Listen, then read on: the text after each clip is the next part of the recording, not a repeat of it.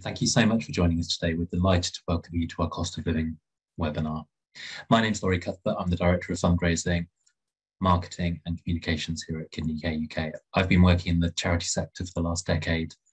Um, I'm passionate about reducing inequalities and improving equity of access. I'm delighted today to be joined by an expert panel.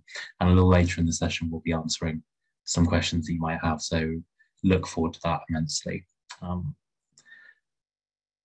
we're going to be talking today about the cost of living and the impact it's having on the kidney community across the UK. So as well, in, as well as sharing some helpful advice and guidance to support you as the winter months approach, we'll also be underlining the existing direct support services that Kidney Care UK and our partner organisations provide, as well as talking you through the steps we have taken as the UK's leading patient support charity to provide additional support to our community during this hugely challenging period. I think it's really important for me at this point to reiterate that we're here to support anyone living with CKD and those that support them. So please do get in touch with us if you need help or if you just want to talk to us about your situation.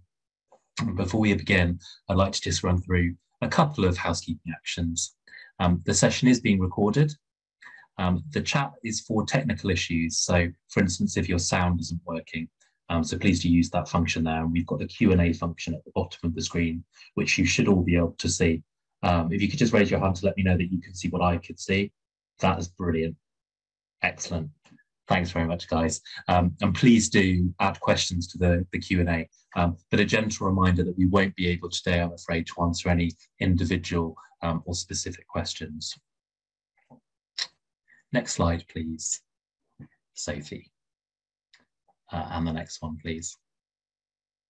So, very simply, Kidney Care UK is the UK's leading kidney patient support charity. We've been providing direct practical support for kidney patients and their families and carers since 1975. As simply put, our vision is that no one should face kidney disease alone, and our mission is to improve the quality of life for everyone affected by kidney disease.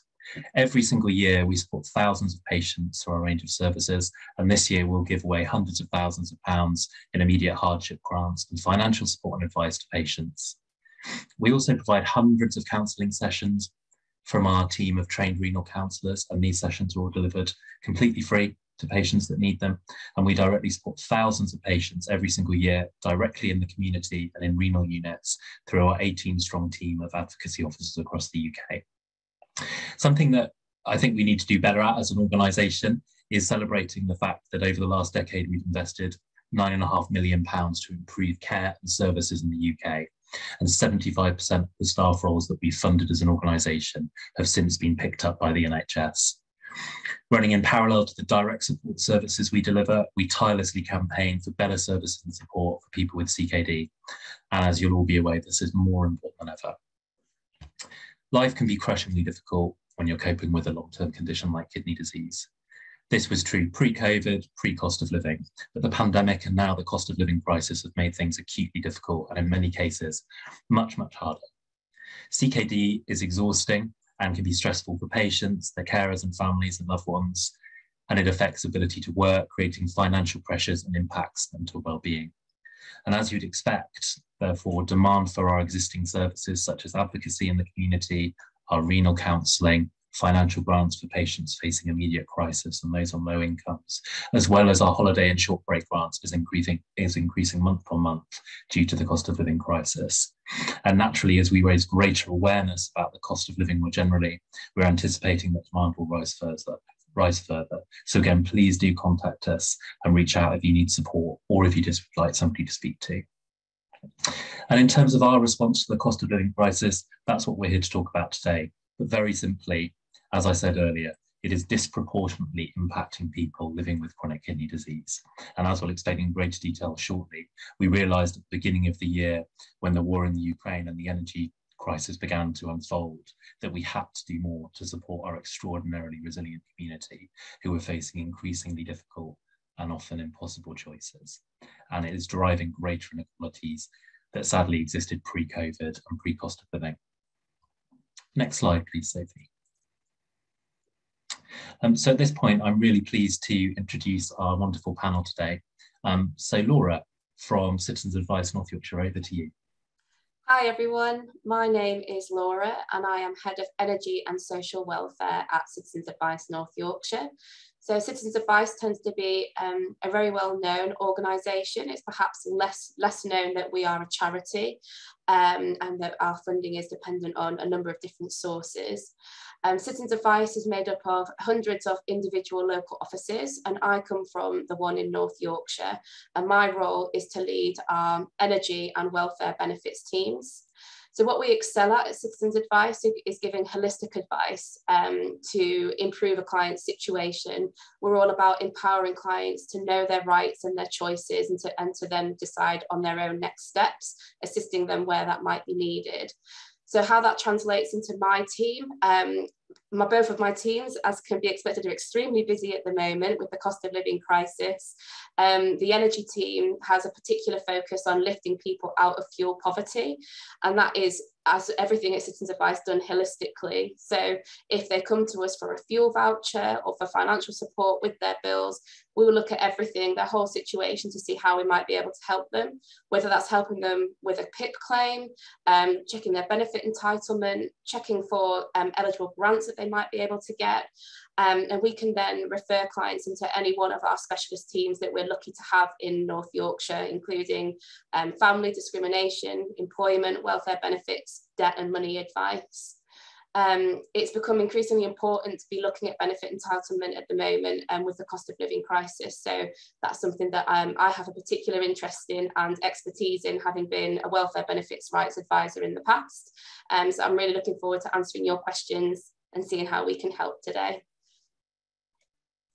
Thanks so much, Laura. I had to remember to unmute myself there even after two and a half years. It's wonderful to have you. Uh, Mark Smith is also joining us. So Mark, um, would you like to introduce yourself?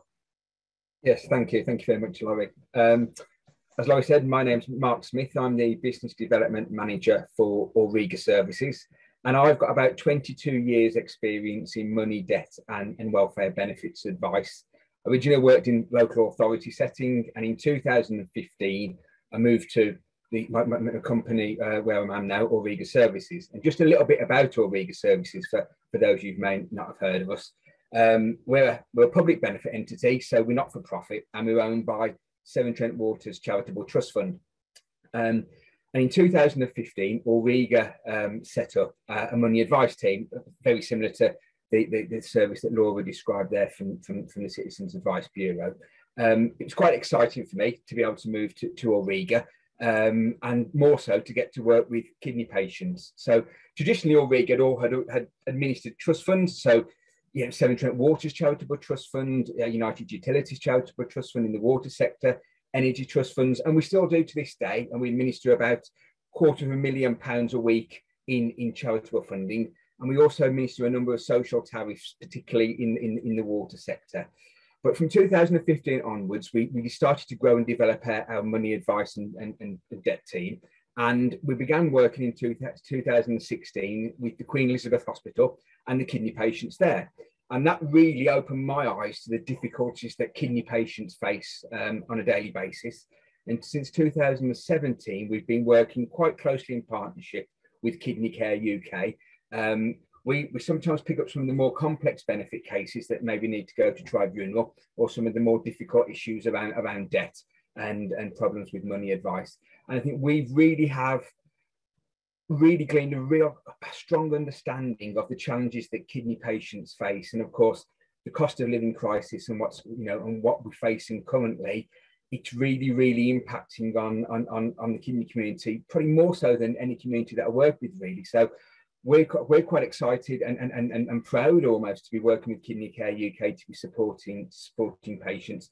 Um, so hopefully we can really grow grow this partnership and grow the work that we do. Um, and hopefully today answer some of your questions and maybe have a few tips and a little bit of advice how, how you can you know possibly attempt to navigate this difficult period um, with the support of Kidney Care and, and hopefully um, possibly ourselves as, as well. Thank you, Laurie.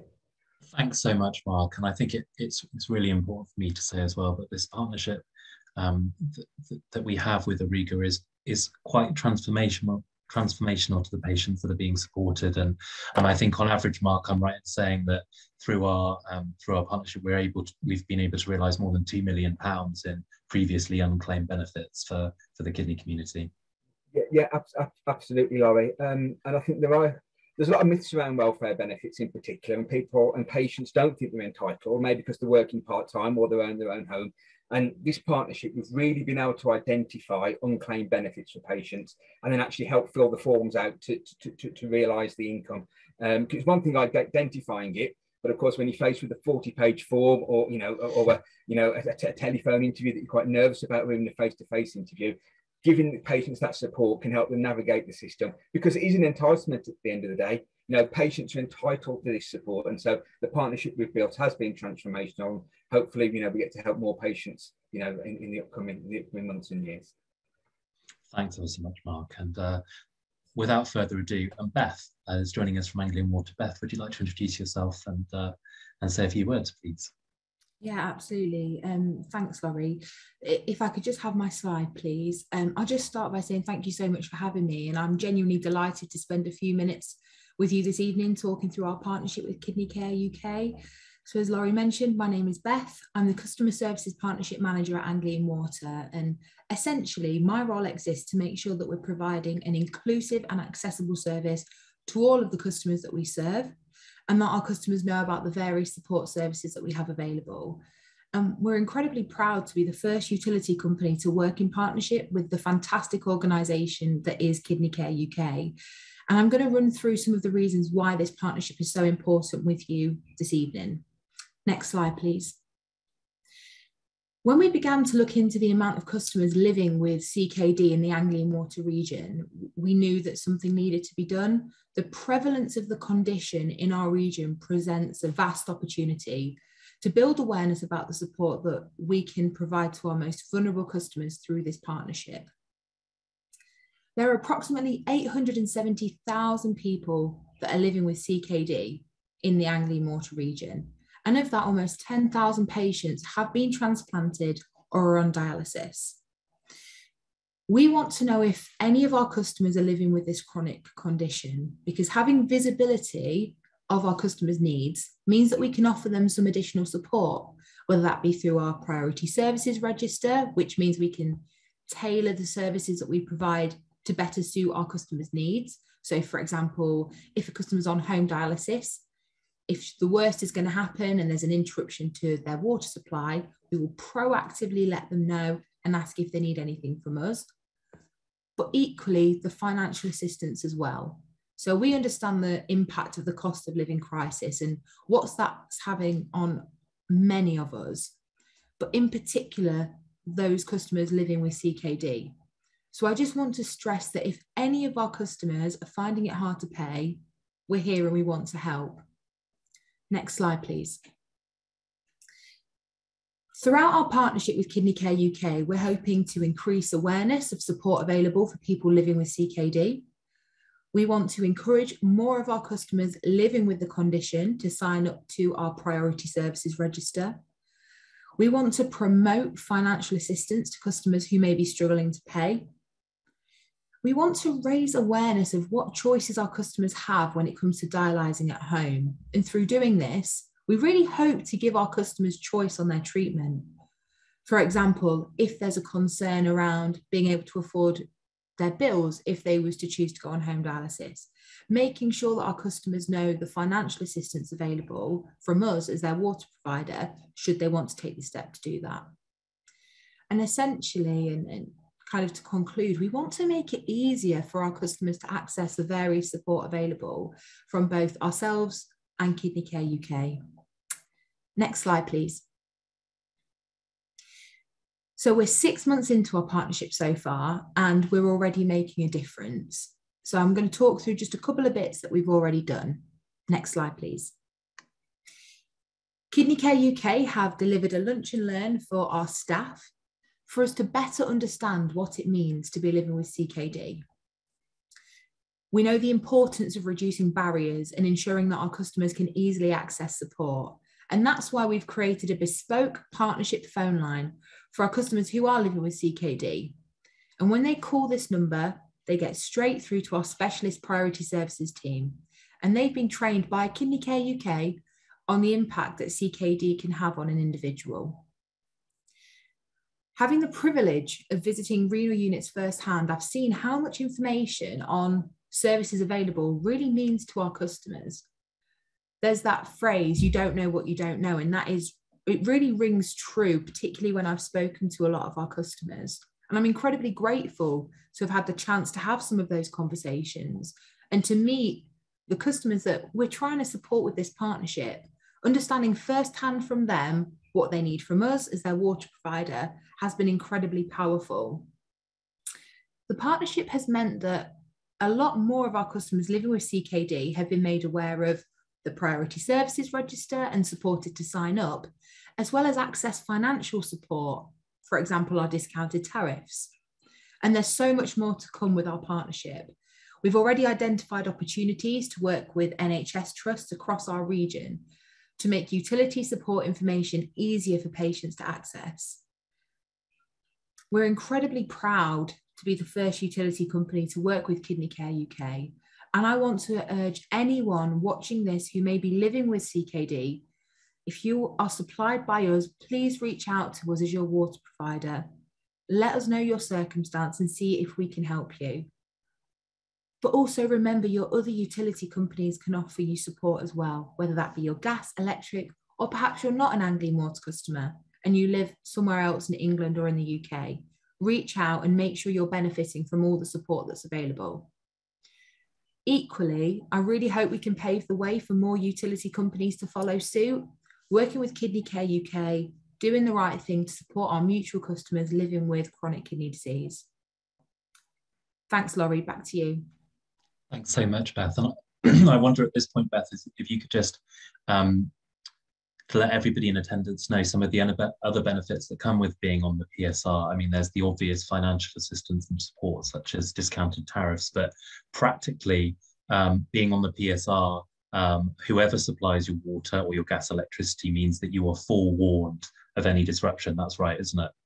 Absolutely, yeah. So I would say kind of the most the most um, prevalent support service is that proactive contact in the event of an interruption to your water supply. And if you think about it in relation to a customer on dialysis, if they're on home dialysis and they are mid treatment and their electric goes off or their water goes off, that could be detrimental.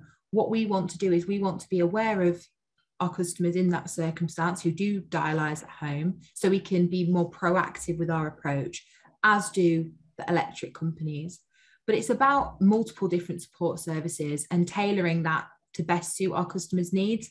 So it could be um, something as simple as knock and wait, a support service, which means that should we visit our customer's property and they need a little bit of extra time to get to the door, maybe they've just come off eight hours of dialysis and to be honest, they're struggling.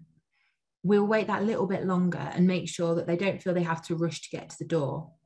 Equally, utility companies might be the last thing that they want to deal with at the moment. If they want to nominate a trusted friend or family member to manage their account on their behalf, Priority Services enables them to do that. But that's just a couple of examples. We really do have a vast range of priority services. And what I will do is I'll pop the link in the chat. So if you do want to have a look at some of the additional support services we offer, you can check them out on our website. Thanks so much, Beth. And if you look in the chat as well, the team are, um, are included links to details on how you can register with PSR in your region. So please, I would really encourage all of you to, to look at those links and just find out about the support that it already exists. And of course, what's really exciting about these kind of partnerships is that it's not just a single solution. We can provide support, as I said earlier, around um, patients facing financial crisis, perhaps you would like somebody to speak to, or perhaps there's somebody in the community that can help you through our advocacy team. So please do reach out um, because we are here to help. Next slide, please, Sophie. So I said earlier that today we'd be exploring some of the specific impacts that the cost of living crisis has had um, on the com kidney community. Uh, I'm sure many of you will be aware that three and a half million people in the UK have chronic kidney disease and about a million more people are estimated to live with the condition undiagnosed. this is a huge, huge number. Um, approximately 3 million people in the UK have cancer. And I think one of the things that as an organisation we're really trying to do is raise more awareness about what it means to have kidney disease um, and some of the challenges that presents. And the cost of living crisis, as I said earlier, is really disproportionately impacting um, the kidney community's ability to do the things that perhaps some of us might otherwise take for granted. I mean, you can see on the slide here that many people with kidney disease also have anemia, so they feel the cold much more acutely. And this will increase household utility consumption quite above and beyond what it might cost to have your dialysis at home. And we hear from an increasing number of people that those choices between heating and eating have, have, have almost become a cost of surviving. Rising fuel costs also mean that if you pay to go to dialysis in a unit, which is roughly 312 journeys every year for those traveling to and from units three times per week, you'll be paying considerably more than you were this time last year. Um, and again, significant numbers of kidney patients are unable to work. So just one in four dialysis patients are in any form of employment, and almost half of the total number live in the two most deprived percentiles of society. Now, in 2019, this figure was 44%, and in 2020, this has risen to, uh, to 47%. So even pre-cost of living, these inequalities were really being played out.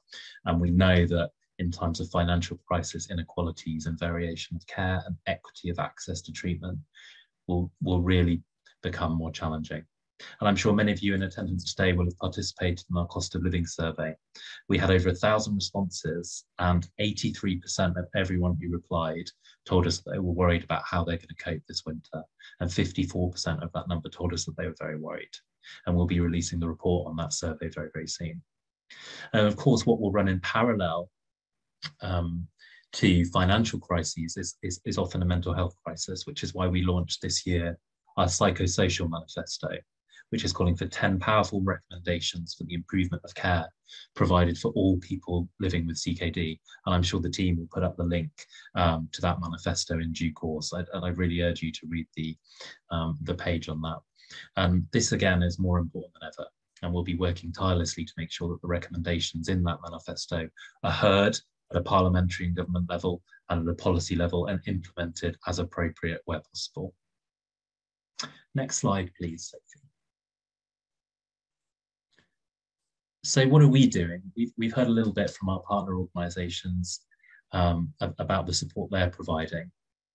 I think it's really important to draw attention to some of the activities that we've been doing as a result of, of really recognising that we needed to do more to support the community at this critical time. So we'd already, as an organisation, secured NHS commitment for transport costs to and from dialysis, and we continue to ensure that those policies are implemented consistently, regardless of where in the UK people live. Um, the NHS England is already taking action to ensure that trusts provide consistent reimbursement for patients receiving the dialysis at home, and this is something that we will continue to push and ensure is implemented consistently. Um, we've also just today uh, launched our benefits calculator, um, as well as a benefits and financial hub. And I would urge all of you in attendance to please familiarize, familiarize yourselves with that. Go through the benefits calculator. Um, and if you need additional support or help with that, please do call us or send us an email. And again, our existing patient support services. We've been providing patients with food and fuel vouchers, with patient grants, with advocacy support in the community and with free renal counselling because we recognise at a time when the NHS is facing really severe pressures, things like advocacy and mental health support is so, so critical. And I'm pleased to say as well that we've really gained significant media and political interest as a result of our Priced Out of Existence campaign, which I'm sure some of you will have seen launch earlier this year. Um, this was raised directly by Sir Keir Starmer at Prime Minister's Question Time, and support for people on dialysis was mentioned on Good Morning Britain by Boris Johnson. And actually, subsequently to that, he followed up with us um, so his team could investigate, which has led to regular meetings with the Department for Health and Social Care. Um, we've secured a really, really huge amount of donations from our generous donors, and that money is absolutely critical for us to sustain and advance our direct support services. Beth mentioned our existing partnership with Anglian Water, and that dedicated phone line um, that anybody living with CKD in the Anglian water supply region can call up. You do not go through a computerized system that is answered by a human being. Uh, and I can say that, can I, Beth, because I did the training with your team. Um, and it was so affirming to hear that that is already having a tangible impact. And just like last week, we heard from a kidney patient, a customer of Anglian Water, that they've already secured a 50% reduction on their water bills. And I think it's important for me to say at this point, Beth, that these provisions and these systems are in place with all of the suppliers across the UK. But one of the challenges has been that historically, utility firms have not been necessarily as proactive as they could have been in promoting them. Would you say that's fair? Think it's fair to a certain extent. And I, I also think the biggest challenge is making sure that our customers can see about the support that we've got available. Um, if you take um, our partnership, for example, we're taking a true multi-channel approach. We are being present in renal units. We are utilising digital channels such as email, website, social media. We're looking at letter drops in partnership with the CCGs across our region. But even then, we're going to miss customers. And it's about trying to work together as a unit to make sure that we're delivering all of these messages of support in a a, a unified way. And Laura said a, a very key word earlier in a holistic approach to better supporting our customers. And I think one of the biggest challenges utility companies is getting the message to our customers. And it's through utilizing um, trusted voices in the community, trusted partners like yourselves, Laurie at Kidney Care UK, that's ultimately going to better support our customers. And that's why I, I suppose just to urge if, if there are any other utility companies on this webinar um, to explore that as an option because I can safely say from an Anglian Water perspective, within the first six months, we've seen significant progress and we're very excited to see what more there is to come with our partnership. And I think that's just it, Beth, isn't it? There isn't a silver bullet for how to communicate with, with everyone in the UK. And, and what we're finding when we do our drop-in sessions at renal units um, in the region, and I've been doing them across the country and across the UK. I was over in Belfast a couple of weeks ago visiting the children's dialysis unit is that every single customer has a different way of engaging um, or not engaging, as sometimes the case may be, because as you say, that there is a lack of awareness about what support is available. And I think what's really exciting about working with big utility providers is that we can provide a really comprehensive package of support. It's not just going on the PSR, it's not necessarily just getting financial support from your supplier. But if you need support to actually discuss this with the supplier, we can help for our advocacy team. As I said, we provide financial grants as well. So it's that range of services um, that we provide and our partners organizations provide that I think can really make that tangible difference in perpetuity. Um, Laura, Mark, at this point, I, I, just wanted to ask you if um, if you've got any tangible examples of, of kind of of areas of, of development or increased in demand and what that's meant for you both as as organisations. Uh, Mark, you've come off mute. Do you want to come in here? Yeah, uh, th thank you, Laurie. Um, I think our mantra has always been, even before the crisis, to try and reduce household expenditure and increase income. And I think that's never been as important now. So maybe even families who were managing even a few months ago are really finding it hard to meet all the all the essential expenditure. And as we know, kidney patients, you know, have have far greater heating costs and often dietary requirements and some some self care requirements. So the demand for us has been how can we reduce or at least mitigate household expenditure at, at, at the moment. Um, and it's difficult. I mean, I, have been telling people to look through the direct debits you know, have they got have they got gym memberships or, or, or direct debits for things that they don't use? Um, we've also been sort of looking at insurances and not necessarily things you should maybe think about. Uh, a patient I was working with last week, he was paying £70 a month for, for pet insurance. And he went and did a, a, a, a, comparison and he's now only paying £30 a month. So I think we always think with insurances, it's car insurance and things like that. But I think we need to look at really every direct debit because savings can be made. Um, and I think the example of pet insurance is a good one because that's maybe not something that necessarily springs, springs, springs to mind. And I've had a couple of patients recently as well who, who live alone and they weren't claiming the 25% single person discount on the council tax. Now, if you think the average council tax bill is nearly got £1,800 now, that's a significant saving. Um, so uh, the, the, main demand we've been getting at the moment is how can patients reduce expenditure. And we've got quite a few little tips like that, and, and they're two that spring to mind that have, have helped patients with recently. Thanks so much, Mark. And I think I think you, I think you've hit the nail on the head there in terms of you know looking at the bigger picture. And, and I know one of the things that we often find as a charity is just until you've spoken to someone, it can be really hard to actually have that perspective. Um, and I, I certainly see that every day. When when we were in uh, Northampton, Beth, two three weeks ago, we spoke to to several patients who were simply unaware that they might even be entitled to be reimbursed for their travel to and from units. And so it, it's working in the round as a patient support charity to really raise awareness about the provision that does exist. Um, Laura, um, I don't know if you wanted to, to come in here, if you've got anything to add.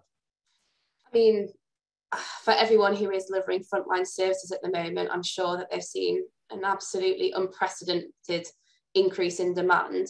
Um, we were talking about this last week that during the pandemic, um, calls to our free phone advice line, um, they went up to about 200 a week, which at the time we felt was, wow, that, that's a lot.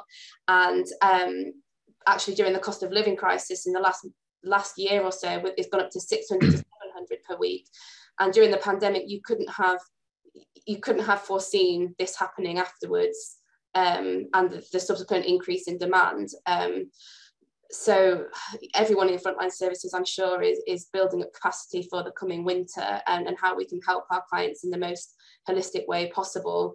Um, in terms of clients that we're seeing at the moment, um, the, the energy team is concentrating on making sure that they are that our clients are aware of their rights. Um, we've already talked about entitlements, um, and I think it's a really good way, word to use entitlement and i deliberately use that with my clients because you are entitled to claim these these benefits or and or this support. But also in terms of energy it's really important to let people know there are quite stringent standards that energy companies have to comply with. They're called um, standard license conditions um, especially for people who are vulnerable and are medically dependent on energy, there are rules that the energy companies have to follow. Um, and I would say anyone who has medical equipment which is reliant on an energy supply absolutely should not be on a prepayment meter um, because it's neither safe nor practicable for for them to be on a prepayment meter for their energy. So just knowing things like that, that they've got a right to ask to be um, moved to a credit meter, that they've got a right to ask for additional support um, vouchers for their, if they are on a prepayment meter. And that's exactly what organisations like Citizens Advice are there for, to raise awareness of this and to help them assert those rights and claim those entitlements to make things ever so slightly easier over the coming months. Yeah, thanks very much, Laura. Um, Sophie, could you um, go on to the next slide, please? And I think I think on that note, just building on the the input there from the from the panel, um, is you know what are we calling for? What are we doing as a patient support organisation to make sure that equity is improved and that access to the best possible care um, for patients is is actually implemented consistently? So very simply, NHS trusts need to have a straightforward, accessible system in place to ensure that all of those, particularly those on home dialysis, are pro promptly and consistently reimbursed for the additional costs of their utilities. So these systems should be in place across all UK nations and for all modes of home dialysis. But it's sadly still the case that this does not happen consistently, which creates further inequalities, can drive disadvantage and, and variation in care, and this has to change. Um, I'm really pleased to say that um, we wrote to every clinical director and asked them what their approach was to reimbursing the cost of home dialysis. And, and already a couple of trusts have, have come back to us and we're working alongside them to develop a system that is universally consistent in their areas, um, which will really provide a, a much better um, reimbursement for those receiving care. Um, across the UK, people are required to travel to and from hospital for life-sustaining dialysis up to three times a week uh, and they need to have timely and sufficient reimbursement for fuel cost or access to free and reliable patient transport. And while this is part now of something that should happen consistently, sadly it doesn't. And again, we will be campaigning tirelessly to make sure that the policy is implemented. Also, people on home dialysis need energy protection so that their energy supplies will not be cut off. And we've written to Ofgem, the energy regulator, to ask for this assurance. Um, we're also going to be asking for additional support for energy bills for people using medical equipment at home. Um, this might become something like a social tariff for energy to be developed to provide ongoing support for vulnerable groups. We're also asking the government to consider recommendations from the Work and Pensions Committee to close the gap between the inflation reference point and uprating benefits so that those benefits are better able to cover existing costs of living. Um, and as Beth rightly said earlier, we're calling on all energy and utility companies to work with us to ensure that kidney patients in particular are supported and are on the best possible tariff for their needs. Um, at this point, guys, we've had we've had several questions come in, um, so I'd really like to uh, to invite the panel um, to come forward, and we'll, we'll, do our best to answer some of them.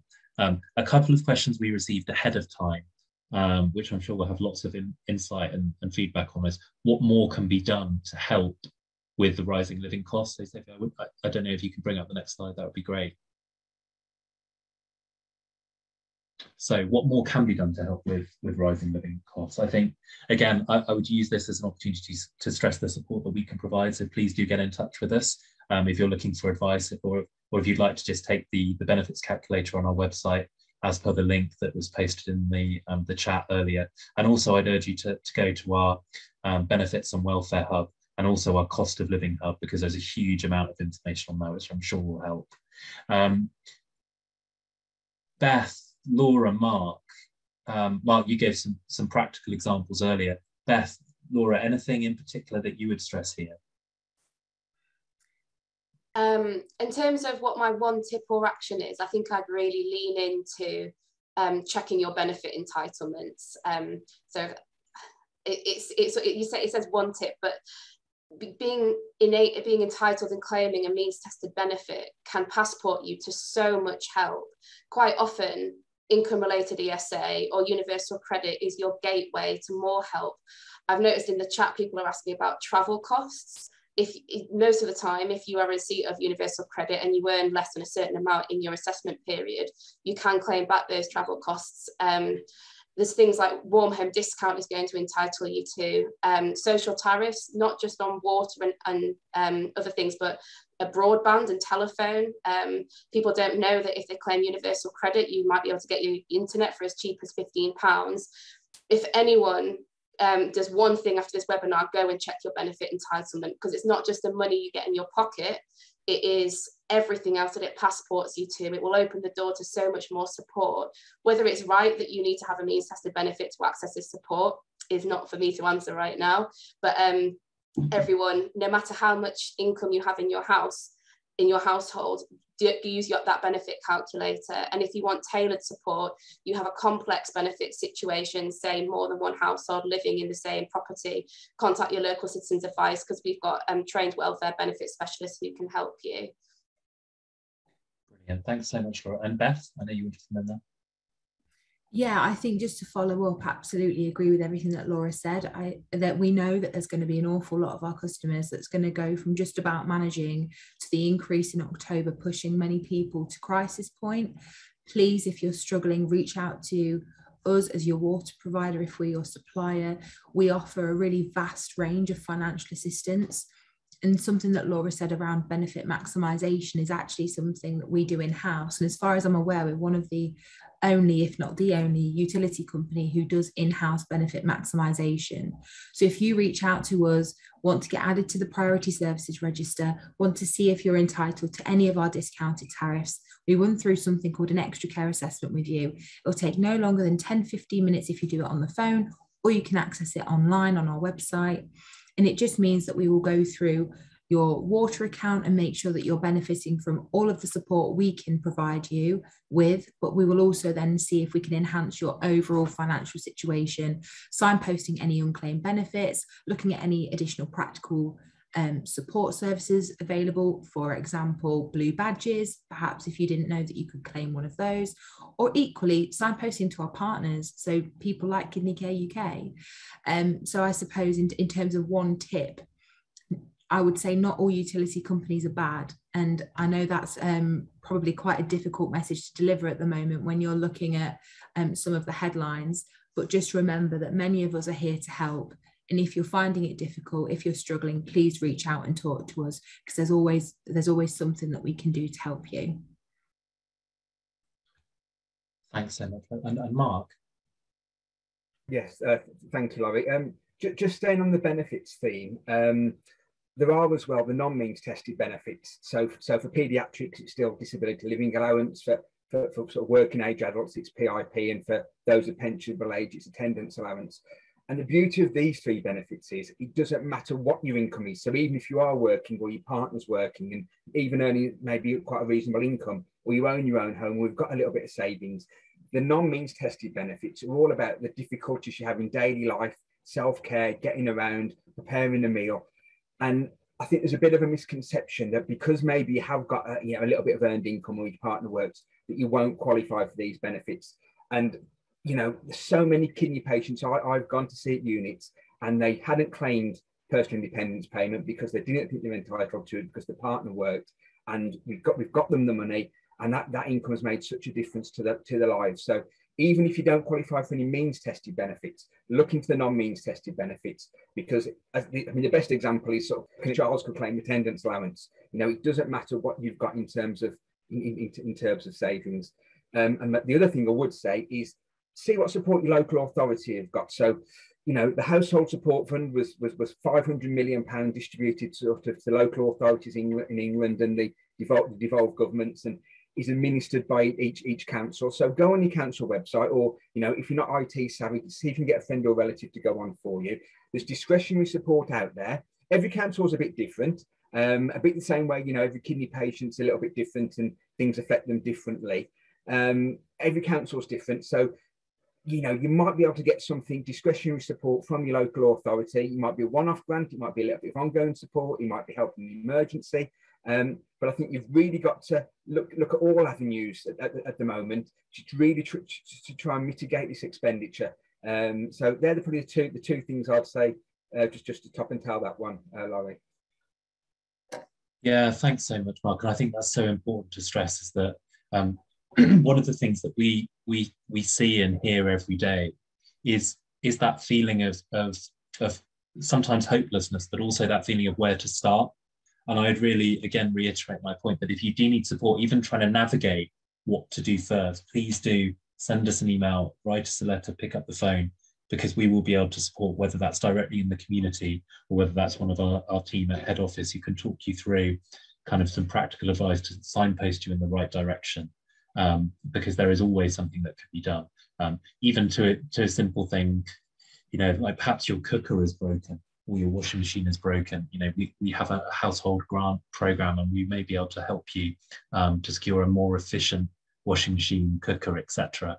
Which can which sounds like a small thing, but actually can make a huge difference. And just on that note, um, when we're talking about tips and actions, we'll soon be launching a, a really affordable and delicious range of our kidney kitchen recipes. So these will be meals that can be cooked for four people in a family very, very affordably because we recognize that when we talk about food and diet and the importance of diet in maintaining a healthy kidney function, sometimes that can feel out of out of reach for people. And so that's one of the reasons why we we started the kidney kitchen was to, to give kidney patients permission to enjoy food again. And we recognize that during this really, really difficult period, we needed to have a range of much more affordable recipes that can be enjoyed by patients and their families and friends to reduce feelings of anxiety or, or isolation if you are having to eat a separate meal to perhaps your, your family or your children. And so it's, this, it's really important that we continue to signpost and communicate the existing support that is available. I think one of the things I've noticed from, from the Q&A and from the chat is that there's a feeling of, of overall frustration about what should happen with what happens in reality. And I think you could probably apply that. I think it's fair to say this isn't a panel, you know, across the benefit system and entitlement is that everybody has a slightly different understanding of, of, of what they're entitled to. And sometimes that conversation has to be reset. You know, entitled is the key word. And I think what I would urge is everybody who's who's finding that kind of reimbursement piece in terms of home dialysis um, or transport costs, we want to hear from you because we can't help unless we know what is going on in your area. And so please do write to us and our policy team will, will take on that case because the more we hear about these variations or inequalities, the more we can act on it and try to change things for the better. Um, I think that there's there's another question that the team might be able to answer, here, Mark. In particular, perhaps you have some advice on this. Is um, uh, if you rent can, can your landlord claim benefits on your behalf? Well, if, if you rent from a private landlord, you, your landlord himself can't, can't claim benefits. I mean, I don't know if, if, if the question's more around um, heating measures and insulation measures. So there is pots of money out there, eco schemes um, for private landlords, so they can apply for things like loft insulation, cavity wall, boilers. You know, uh, so even if you don't own your home, speak to your landlord because, if, especially if it's a private landlord, because there is pots of funding that they can access. I mean, in terms of if you if you rent from a private landlord, you'd be looking at getting your housing costs primarily through universal credit or or if you're a pensioner through through housing benefit, but you'd be looking at claiming those, those yourself. Um, and again, council tax reduction. So you know every local authority's got their own council tax reduction scheme, and if you are on a, a low income, you know apply to your local authority to reduce you know to, to, to reduce your council tax. But the majority of financial benefits you, you claim yourself, but physical measures such as insulation speak to your landlord because they may be able to claim um, to, to, to, to make your home more you know economical and cost effective to heat. Thanks, Mark. That's that's really really helpful to understand. And um, Laura, I just wonder, you know, there are any kind of practical examples that you could share of, you know, um, clients calling up and, and and and finding actually quite a simple solution where on the surface it was a really challenging case um, specifically regarding private rented or just just in general? I think in general, you know, particularly around the benefits and entitlement piece. You know. Yeah, actually, all through this, I've been thinking about one particular case. Um, it was a client um, who, on the face of it, had a fairly good, uh, relatively good income. I think it was about £40,000 per year. She lived with a partner. She had um, four children, and uh, her partner had a health condition. And she was absolutely convinced. She rang us for a fuel voucher um, for a prepayment meter because they were, had self disconnected because they couldn't afford to top up their prepayment meter. And she was absolutely sure she was not entitled to any benefits or any support. And the advisor, God bless her, she um, she kept pushing and saying, "Let me just do a benefit check for you. Let's see. Let's just see if um, you might be entitled to something." And she was entitled to fourteen thousand pounds of universal credit over the year. Um, mm. and that is a transformable amount of money for somebody. She, the client cried on the phone because she just could not believe that she was entitled. And she had said, "Oh, I've checked in the past, and uh, you know, we earn forty thousand pounds. How can we possibly be entitled?"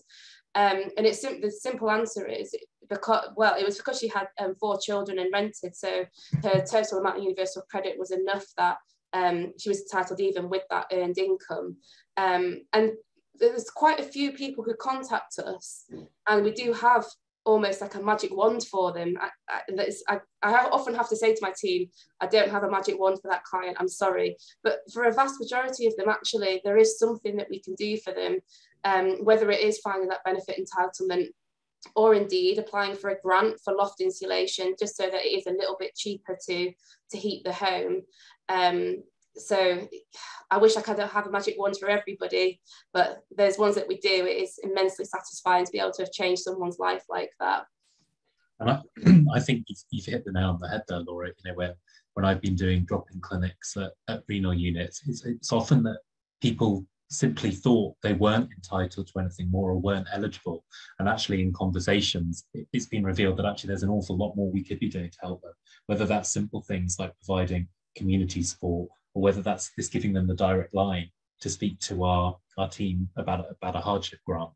Um, these are things that all exist and it's why sessions like this are so important so we can talk about them in the round and really signpost the support that, um, that is available. Um, I think we probably have time for, for one more question. Um, so guys, unless you've got another tip, I think I'll move on to that, that question, but I think you've, you've covered things really nicely there on the panel. Um, so we've had a question here about um, uh, transplant patients. Um, and this particular attendee has had a transplant um, and is asking about how to get support. I think for this particular question, the answer is really, really straightforward. We're here for everyone with kidney disease, whether whether the people have had transplants, whether they're waiting for transplants, whether they're on dialysis, or whether they've just been diagnosed. So please get in touch with us and we will provide as much support as we possibly can. Um, conscious of time, everyone. Sophie, possible to move on to the next slide, please. So I think we've we've touched on on many of the resources and support that's available, but I think really important to to, to summarize the, the, the support that does already exist. Um, please do visit our online support hubs. As I said earlier, there is a wealth of information available on them, and whether that's things like taking a benefits calculator um, or just picking up the phone to speak to us, there'll be lots of information there that will point you in the right direction. Again, I'll point to our direct patient support services such as advocacy, free counselling, hardship support. Please do get in touch with us and we will find a way to help. Uh, the priority services register, Beth has talked to this point as well, but this is not just about um, being forewarned about water disruption or energy disruption. Um, this is fundamentally uh, a way to get yourself in contact with your supplier and they will be able to signpost the most appropriate tariffs, other support that is available, whether that's financial or whether the supplier can point them in direction of um, citizens advice, for instance. Um, and patient information packs, we have, a, we have a huge range of information quite aside from our cost of living hubs and our finance hubs on the website. So please do visit um, our website, which is just kidneycareuk.org. Um, and finally, how can you help? So last slide, please, Sophie. So please do tell us what you need. Um, how can we help you? The more you tell us, the more you share, um, the more we will be able to support you.